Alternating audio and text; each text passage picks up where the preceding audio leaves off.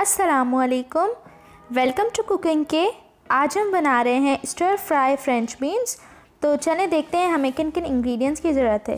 यहाँ पर मैंने 100 ग्राम्स फ्रेंच बीन्स ली हैं, जिन्हें मैंने धो लिया है। दो अदद लहसुन की जवों को चॉप कर लिया है। एक चाय का चम्मच मैंने नमक लिया है। एक चाय का चम्मच ही मैंने बारीक कटा हुआ अदरक लिया है। एक चाय का चम्मच मैंने यहाँ कुटी हुई लाल मिर्च ली है। एक खाने का चम्मच चिली सॉस, एक खाने का चम्मच सोया सॉस। यहाँ पर मैंने एक अदद टमाटर को फाइनली चॉप कर लिया है और तीन से चार खाने के चम्मच मैंने यहाँ पर ऑलिव ऑयल लिया है। तो सबसे पहले हम पैन में डाल देंगे ऑलिव ऑयल जैसे ही ऑयल गर्म होगा, हम इसमें कटा हुआ लहसुन और साथ ही इसमें कटा हुआ अदरक भी शामिल कर देंगे। अब हम इसे तकरीबन आधे मिनट के लिए फ्राई करेंगे। अब हम इसमें कटे हुए टमाटर डालेंगे और इन्हें अच्छे से भूनेंगे।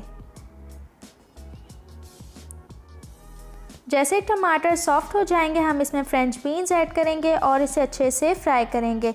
अगर आपने मेरा चैनल अभी तक सब्सक्राइब नहीं किया तो जल्दी से मेरा चैनल सब्सक्राइब कर दें और बेल आइकन दबाना मत भूलें, ताकि मेरी डेली आने वाली हर नई वीडियो सबसे पहले आप तक पहुँच सके।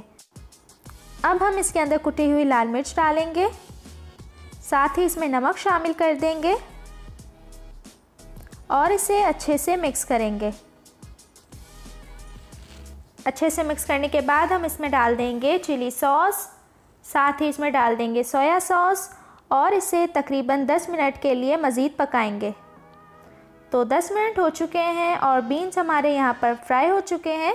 बहुत ही ज़्यादा मज़े के बनते हैं। ज़रूर ट्राई कीजिएगा। उम्मीद है आपको ज़रूर पसंद आएँगे। तो मेरे चैनल को लाइक, शेयर एंड सब्सक्राइब करना मत भूलिएगा। मिलते हैं नेक्स्ट वीडियो में। तब तक के लिए अल्लाह हाफिज़।